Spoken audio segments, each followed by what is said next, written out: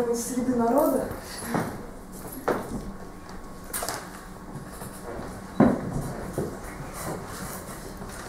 А, стихотворение с претенциозным названием «Après la Deluge». Созвездие пути в неземной тишине, как фьорды изогнуты. Но я забываюсь, земли больше нет. О, аква инкогнита! Скользит по тебе беспокойная рябь и ночно, и денно. Вот все, что осталось, глаза говорят, от нашей вселенной. Стучатся сутулые волны, как нищие в днище. Мне страшно подумать, что где-то под ними кладбище. Стучатся сутулые волны, как нищие в небо, И все непрестанней, все неумолимей, все хлеба. И каждый из нас сознавал, он тоже здесь, нищий. Хлеб наш насущный, дай же нам днесь, просили мы пищи. Стонали олени о свежей траве, усилился голод — а ворон принес мне масличную ветвь. Не голубь, не голубь.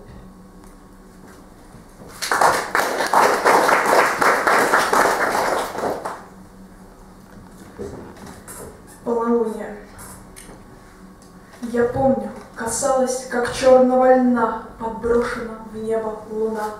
Вчера мне казалось, еще не полна, сегодня уже не полна. Что значит полна? Испившим до дна, какого предложишь вина?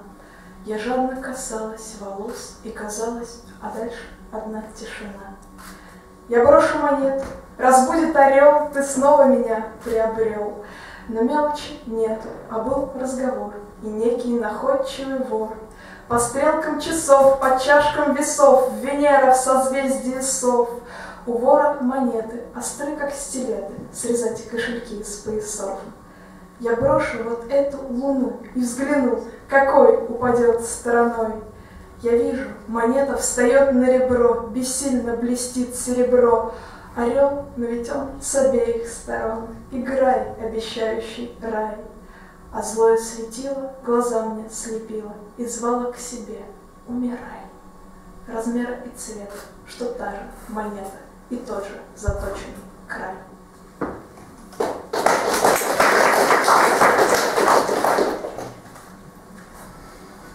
Неважно, кто протаптывал дорожки, сама ли, он ли, нимфа ли лесная. Я больше не встречаю по одежке. Ты заходи, и я тебя узнаю. Пусть горстку неприкаянных моментов за этот вычтет времени меняла. Треть жизни, а на что? Давно я с кем-то чаев на кухне ночью не гоняла. Повесь свое пальто, а может куртку, поставь сюда в ботинки или берцы, чтоб сдернуть, как доношенную шкурку, бумажку с опечатанного сердца, взломать нутро нехитрому замочку, я двери распахну тебя, встречая.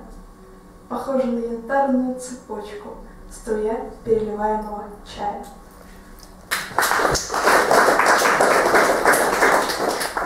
Легкий сонет. Остановка у реки. Ждут, склонясь, рыбачки ивы. Только ветерок ленивый чуть шевелит поплавки. Не дрожит лиса моя ни чуть-чуть, ни понемногу, И скорее уклюнет в ногу древнерусская змея, Чем малюсенькая рыбка вдруг захочет быть со мной. На лице цветет улыбка, ждет гитара за спиной. Жизнь — дорога налегке, стрекоза на поплавке.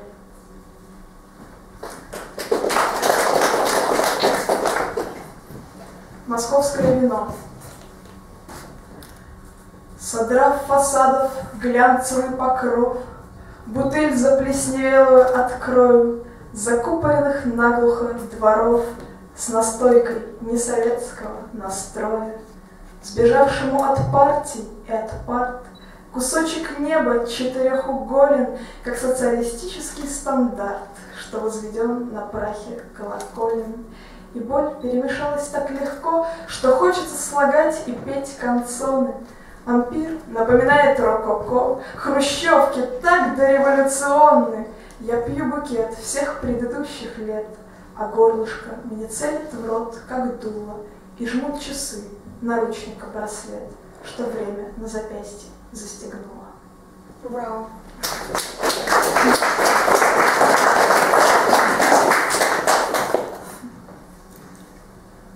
Где тело?